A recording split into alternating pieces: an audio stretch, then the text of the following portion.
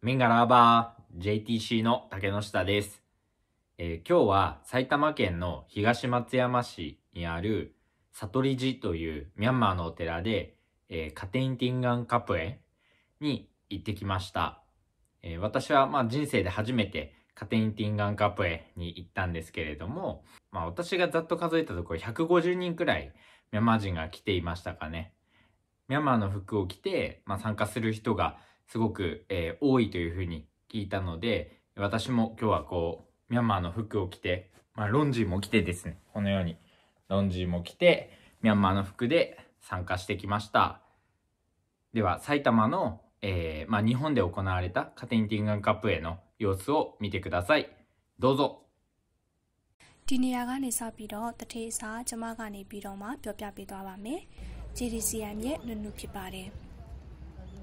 ကျမကဂျပန်ကိုမရောက်ဘူးပေမဲ့ဂျပန်ကွန်ကထိန်ပွဲတော်ကိုတော့ပထမဦးဆုံးမြင်မှုတာပါ။ရဟန်းကတော့၈ပါးလောက်ရှိမဲ့ပုံပါပဲ။နာဂိုယာမှာရှိတဲ့ဘုံကြီးကျောင်းတွေအပြင်တခြားနေရာမှာရှိတဲ့မြန်မာရဟန်းတော်တွေကပါစုပြီးတော့ကြွလာတဲ့ပုံပါပဲ။မြန်မာဝတ်စုံတွေကလှတယ်နော်။နောက်တစ်ခုကတော့ကထိန်ပဒေတာပင်ဖြစ်ပါတယ်။ ဂျပန်ဘာသာနဲ့ကတော့ပွဲတော်အချိန်မှာအသုံးပြုတဲ့ပစ္စည်းတွေနဲ့အလှဆင်ထားပြီးလူထမ်းရတဲ့ဒါရှိလို့ခေါ်ပါတယ်။ယာမတောင်နဲ့ခူရုမ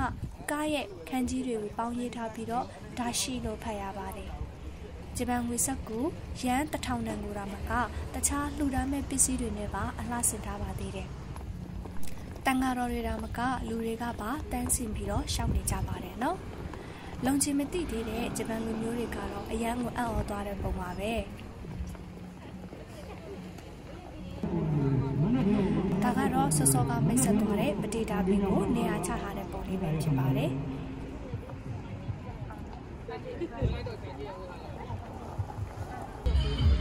တထင်းလဲဆူတောင်းခဲ့တဲ့ပုံပါပဲ။တထင်းကပါကိုဆူတောင်းခဲ့တာပါလေနော်။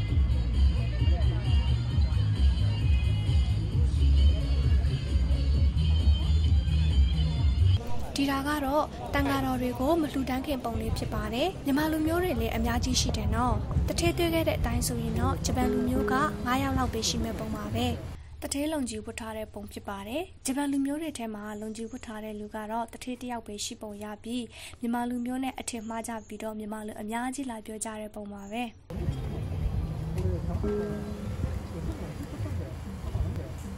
တန်ဃာတော်တွေကိုဝတ္ထုပစ္စည်းလှူဒန်းနေပါတယ်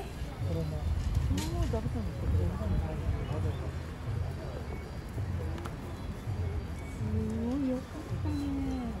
န်ဃာတော်တွေစွန်းစပြီးစားတဲ့ပုံဖြစ်ပါတယ်။အယောင်သွေးဆောင်လေးနဲ့မြန်မာဟင်းလျာတွေကိုတန်ဃာတော်တွေစီကိုလှူဒန်းနေပါတယ်။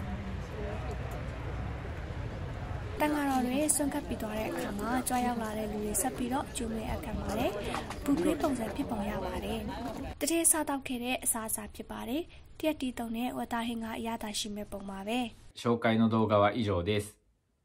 日本でロンジを着て外に出たのは初めてだったんですけれども、今秋で少し肌寒くなってきているので、まあ足元が結構寒かったです。まあ、ただロンジを着て、えー、参加しているミャンマーの人がたくさんいて、まあ日本にいないような感じがしました。カティンティンガンカプへに参加したのは初めてだったんですけれども、まあ来年もぜひ参加して、まあお寺とかお坊さんにも寄付をして、えーまあ、ミャンマーの感じも、えーまあ、日本でも味わうのもすごくいいかなと思ったので、また参加したいなと思いました。今日は以上です。さようなら。たったー。